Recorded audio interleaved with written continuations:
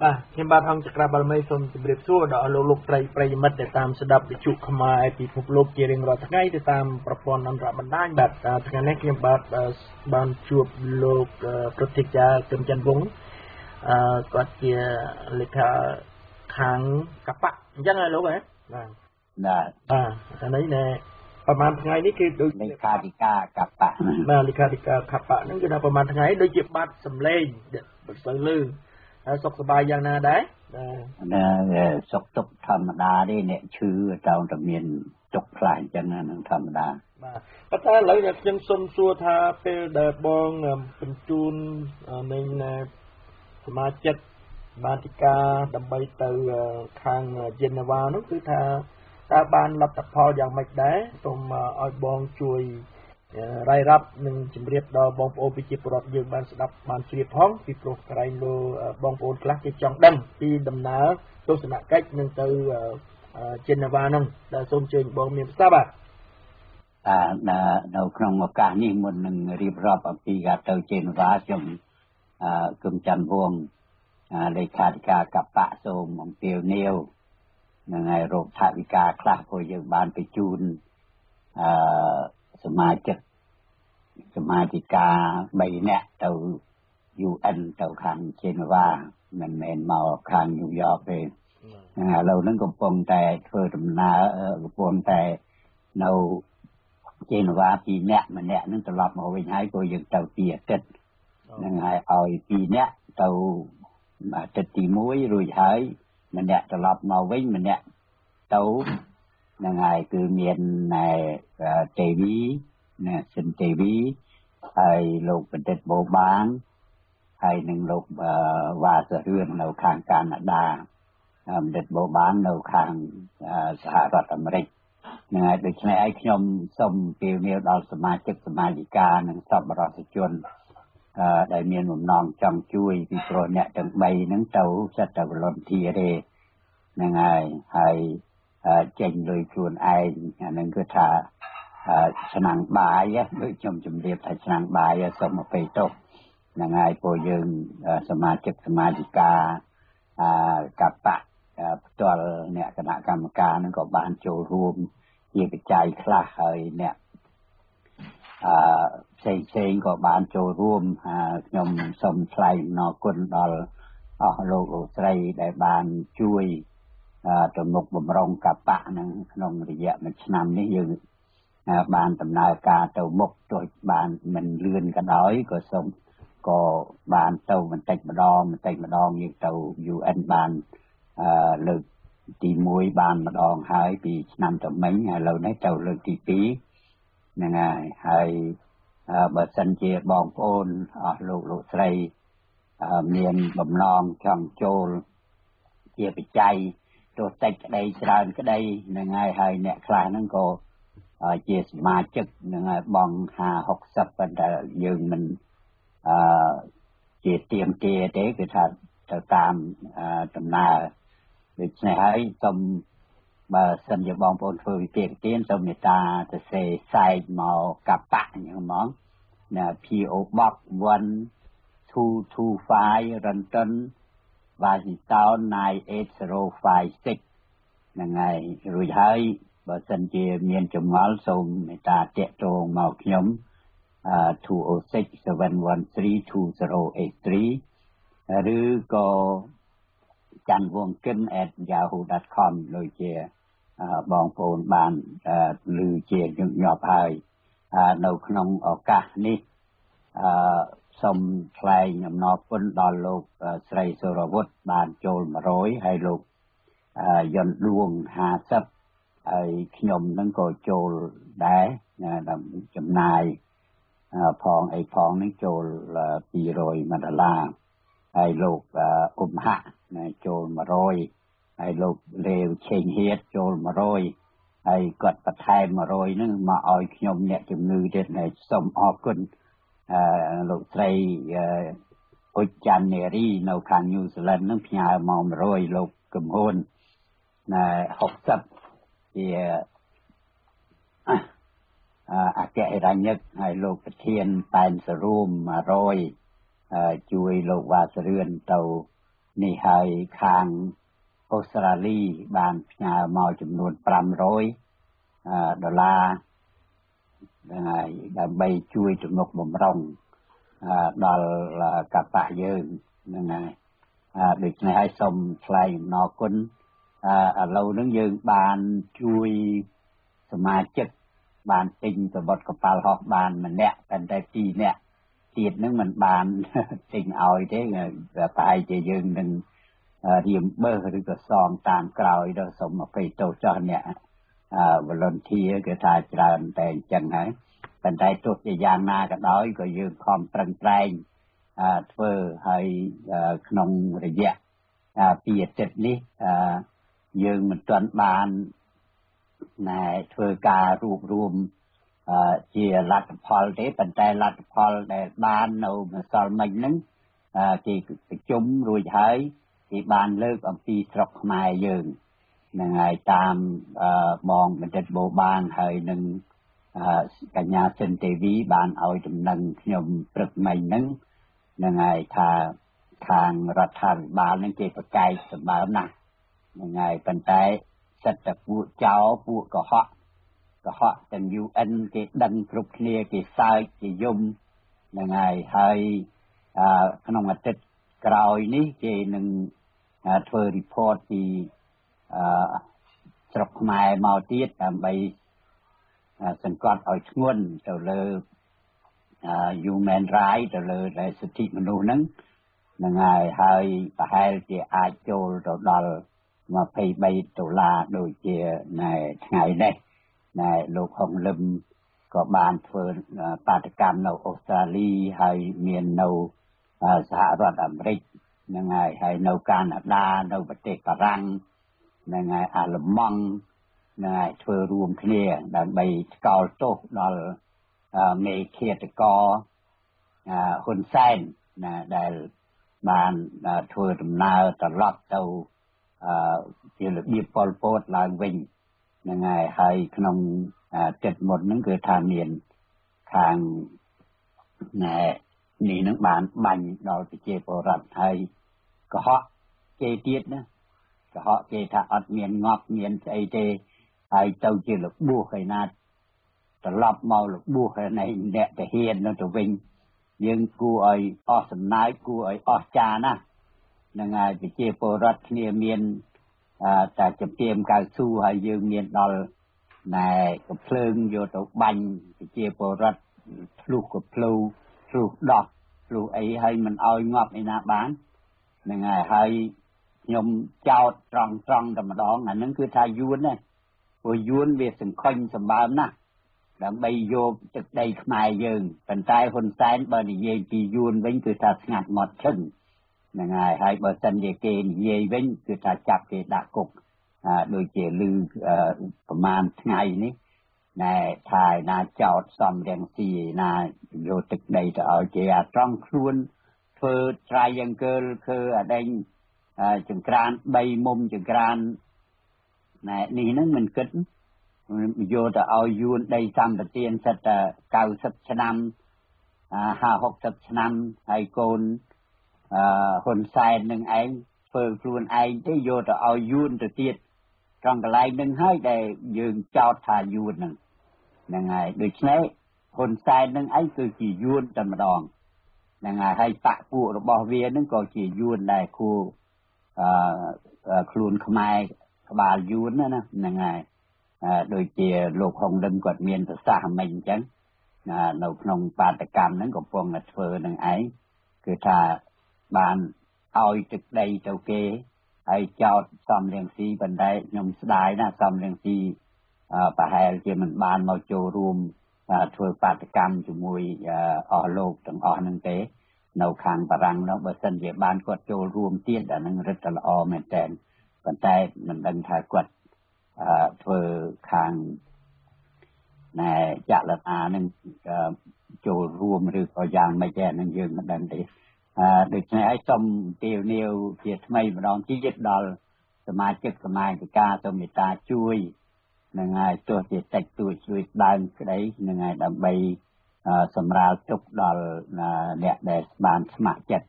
ទៅហើយនៅក្នុងនឹងក៏យើងដូចខ្ញុំជម្រាបមិញអញ្ចឹងគឺថាយើងបានជួយសម្រាប់កប៉ាល់ហោះដល់សិនទេវីផងហើយនឹងជួយអឺ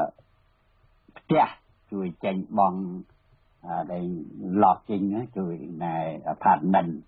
ឲ្យអ្នកទាំង3នឹងបានស្នាក់នៅគឺអស់600អឺ 12ដុល្លារ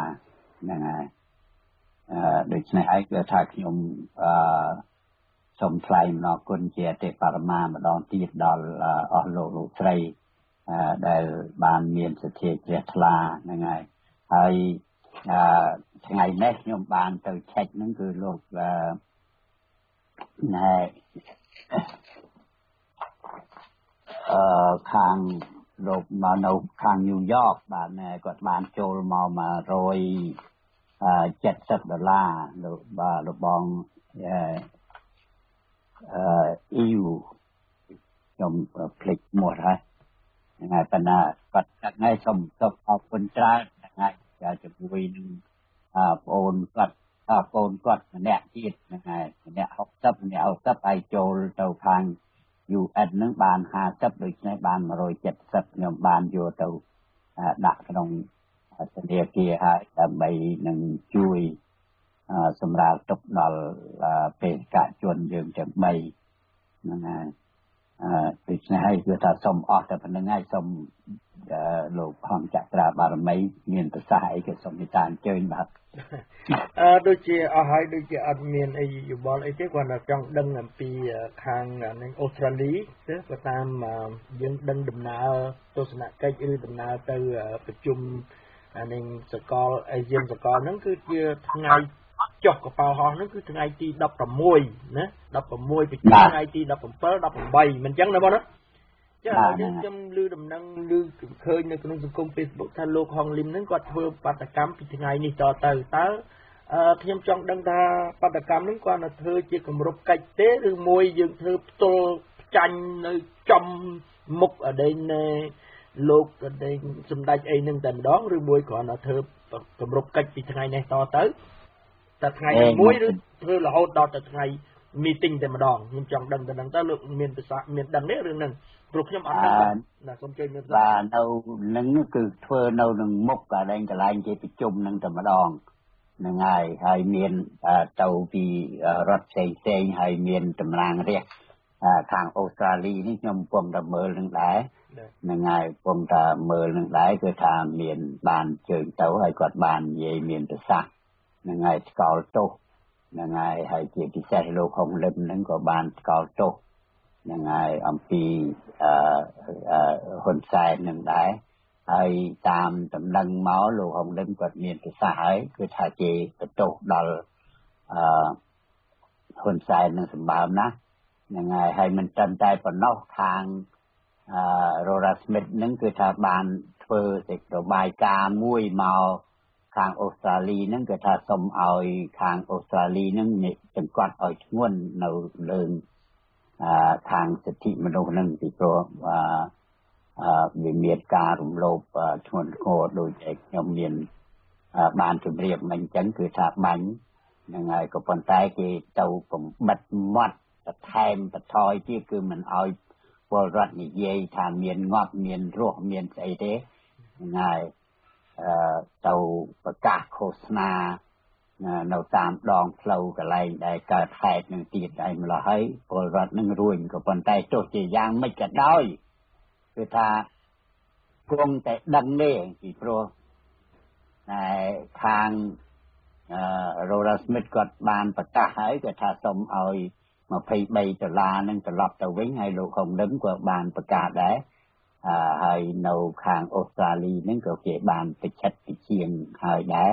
ហ្នឹងហើយគេនឹងធ្វើយ៉ាងម៉េចឲ្យ23ដុល្លារនឹងត្រឡប់ទៅវិញដើម្បីសិទ្ធិបោះឆ្នោតដោយសេរីនិងយុត្តិធម៌ហើយនឹងតោះលែងលោកកឹមសិក្ខាហើយនឹង100ផ្លាយអ្នកនឹងដែលមានសិទ្ធិធ្វើហ្នឹងហ្នឹងហើយអញ្ចឹងហើយបានខ្ញុំ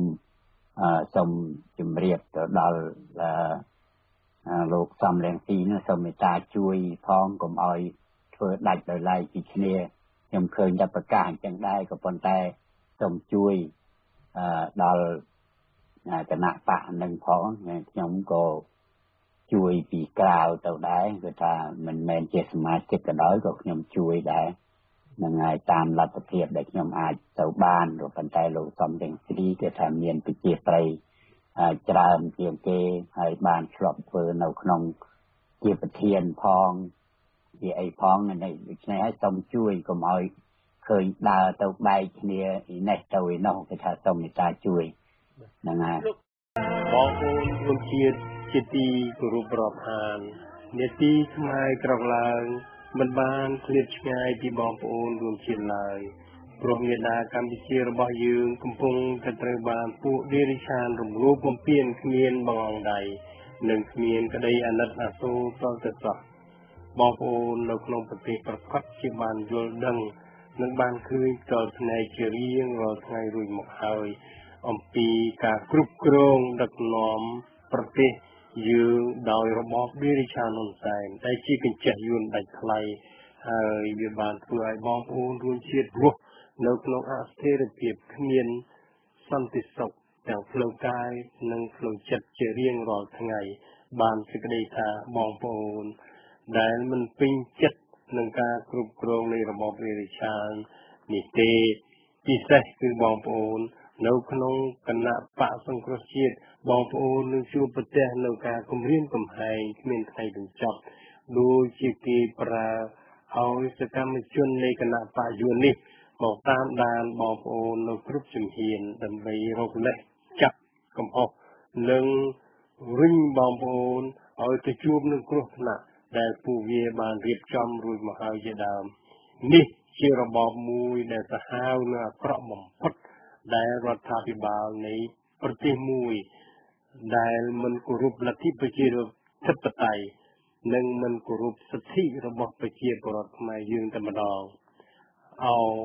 បងប្អូនរួមជាតិខ្មែរខ្ញុំហើយថារដ្ឋាភិបាលរាជឆានហ៊ុនសែនទៅចោះថាវាជាកញ្ចេះយួនចិន ដែលវាមិនបានគិតពីសុខសុវត្ថិភាពរបស់ប្រជាពលរដ្ឋខ្លួនឯងនិងភាព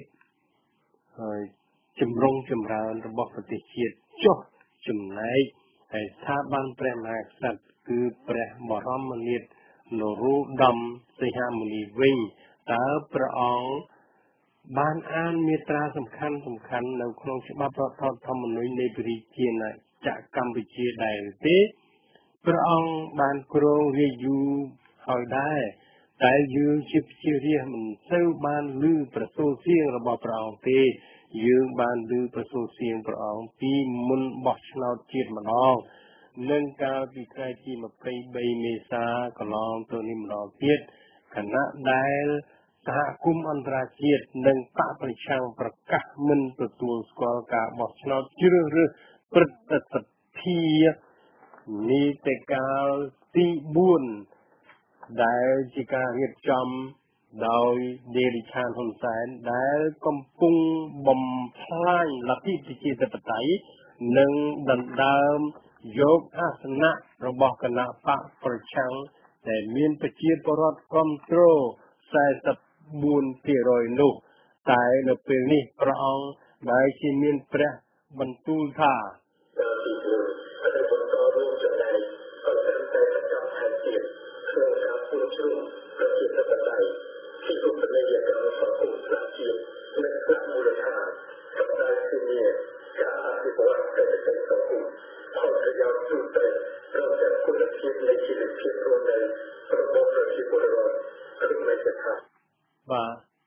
យើងពិចារណា ទៅលើព្រះបន្ទូលរបស់ព្រះមហាក្សត្រនៅពេលនេះយើងឃើញថាព្រះអង្គបានគ្រប់គ្រងទៅលើចំណាត់ការទាំងឡាយដែលដេរិឆានហ៊ុនសែនបានធ្វើវិសោធនកម្មគណៈបកនិងការរំលាយគណៈបកសង្គ្រោះជាតិក្នុងកាលកន្លងមកនិងព្រះអង្គគ្រប់គ្រងសកម្មភាពរបស់រាជរដ្ឋាភិបាលហ៊ុនសែន ដែលផ្លន់ដណ្ដើមយកអាសនៈរដ្ឋសភាចំនួន55របស់គណៈបកសង្គ្រោះជាតិទៅចែកឲ្យគណៈបកដទៃទៀតដែល ប្រជាពលរដ្ឋមិនបានបោះឲ្យមួយសម្លេងផងនោះទៅវិញទោះជាមានទង្វើដ៏ឈួតព្រីផ្សៃរបស់ដេរិឆានហ៊ុនសែនប៉ុណ្ណេះហើយតែប្រងបែរជាយាងចេញទៅប្រទេសចិនហើយបណ្ដោយទុកឲ្យ គណៈបកប្រជាជនបង្កធ្វើព្យុះធ្វើភ្លៀងស្រេចតែនឹងចិត្តពីលរបស់វា នៅចំពោះមុខកំហុសរំលោភលើច្បាប់កម្ពុជាគឺច្បាប់រដ្ឋធម្មនុញ្ញបែបនេះហើយឯព្រះអង្គបែរជាគង់នៅស្ងៀមហើយគឺបានសេចក្តីថាព្រះអង្គបានរួមចំណែកធ្វើកំហុសជាមួយនឹងជនក្បត់ជាតិហ៊ុនសែននេះប្រកបណាស់អោ ព្រះករុណាជាអម្ចាស់ជីវិតលើត្បូងរបស់ប្រជារាស្ត្រខ្មែរហើយប្រជារាស្ត្រខ្មែរនៅមានចិត្តគោរពនិងស្រឡាញ់ស្ដេចនៅឡើយតែមុននឹងប្រជារាស្ត្របដូរចិត្តព្រះអង្គគួរណាស់តែបើកព្រះតីឲ្យទូលាយឡើងហើយរៀនមើលនិងយកគំរូស្ដេចចន្ទមុនមានប្របាទជ័យវរ្ម័នទី7 ឬយ៉ាងហោចណាស់បានត្រឹមព្រះអង្គឌួងក៏ជាការប្រសើរណាស់ទៅហើយ មួយទៀតគូព្រះអង្គទតមើលមេត្រា8ដែលបានចែងថាព្រះមហាក្សត្រព្រះអង្គទ្រង់ជានិមិត្តរូបនៃឯកភាពជាតិនិងនិរន្តរភាពជាតិព្រះមហាក្សត្រទ្រង់ជាអ្នក ធានាឯករាជ្យជាតិអធិបតេយ្យនិងបូរណភាពទឹកដីនៃប្រជាជាតិណាចក្រកម្ពុជាទ្រង់ជាអ្នកធានាការពារគោរពសិទ្ធិនិងសេរីភាពរបស់ប្រជាពលរដ្ឋនិងការពារសិទ្ធិសញ្ញាអន្តរជាតិលើពីនេះព្រះមហាក្សត្រត្រូវកាន់ភ្ជាប់លើមាត្រា9ឯទៀតគឺព្រះមហាក្សត្រទ្រង់មានទួនាទីខ្ពង់ខ្ពស់ជាអាជ្ញាកណ្ដាលដើម្បីធានា ការប្រព្រឹត្តទៅនៃអំណាចសាធារណៈឲ្យមានភាពទៀងត្រង់តាមទស្សនៈរបស់ប្រជារាស្ត្រខ្មែរមួយចំនួន លោកបានបញ្ចេញយោបល់ថាសូមព្រះមហាក្សត្រប្រើនៅព្រះតម្រិះគួរគិតគូរពីវាសនារបស់ប្រទេសជាតិឲ្យបានខ្លាំងក្លាឡើង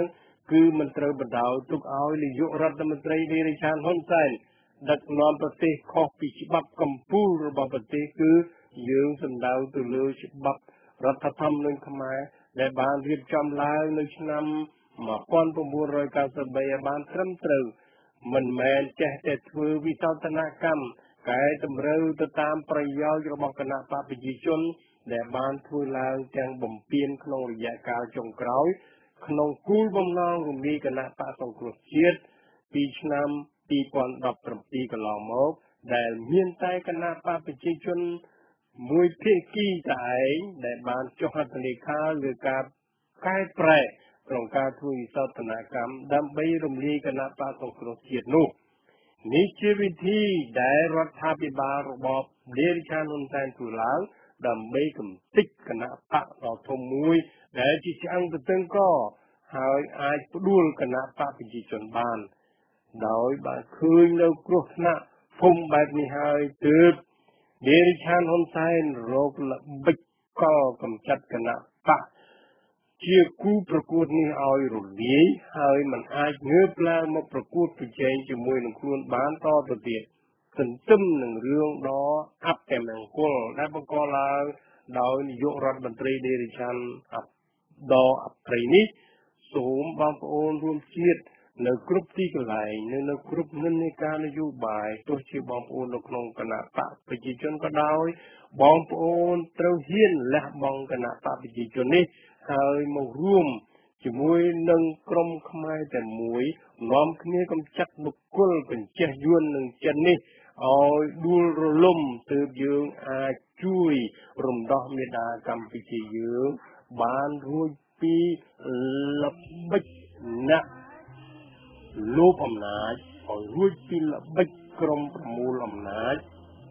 ឲ្យរួចពីក្រុមមនុស្សគ្រួសារនិយម និងឲ្យរួចពីក្រុមបកពួកនិយម ដែលបានបំភ្លេចបំផ្លាញប្រទេសជាតិឲ្យធ្លាក់ទៅក្នុងកណ្ដាប់ដៃនៃពួកអាត្មានិយមសពថ្ងៃនេះក្រោកឡើងបងប្អូនកុំចាំដល់ពេលពួកក្បត់ជាតិរៀបចំក្បួនរំលាយមាតុភូមិយើងដូចជាប្រទេសចម្ប៉ា ឬដោយកម្ពុជាក្រមនោះវាហួសពេលទៅហើយឥឡូវនេះសូមរំលឹកបងប្អូនថាតើបងប្អូនសុខចិត្តឲ្យដេរចាហ៊ុនសែនដឹកនាំប្រទេសទៅនៅក្រោមយួននឹងចិននៅអនាគតឬឬមួយបងប្អូននាំគ្នាឬបំរាស់ឲ្យរួចពីកញ្ញាំយួននឹងចិនហើយយើងនាំគ្នាកសាងប្រទេសយើងទៅតាមរបប នៃប្រទេសដែលកាន់លទ្ធិប្រជាធិបតេយ្យហើយធ្វើឲ្យប្រទេសយើងមានឯករាជ្យជាតិនិងមិននៅក្រោមប្រទេសណាមួយនោះតាមទស្សនៈនៃមនុស្សអ្នកឯករាជ្យយើងមិននៅក្រោមរបបមនុស្សផ្ដាច់ការមនុស្សឱកាសនិយមមនុស្សអាត្មានិយម យើងនឹងអាចធ្វើទៅបាននៅក្រោមកម្លាំងសាមគ្គីនៃខ្មែរនៃជាតិនិយមរបស់យើងនឹងខានឆន្ទៈនៃអ្នកជាតិនិយមខ្មែរនឹងអាចជួយឲ្យពួកយើងដើរទៅដល់គោលដៅរបស់យើងនឹងខានពីខ្ញុំបាទជាតិថងសាវិទ្យុខ្មែរពិភពលោករៀបរៀងជូនបងប្អូនស្ដាប់ពីរដ្ឋនីវិសាសហរដ្ឋអាមេរិកដោយសេចក្តីគោរពរាប់អាននិងស្រឡាញ់ដ៏ស្មោះត្រង់អរគុណលោកសូមជម្រាបលា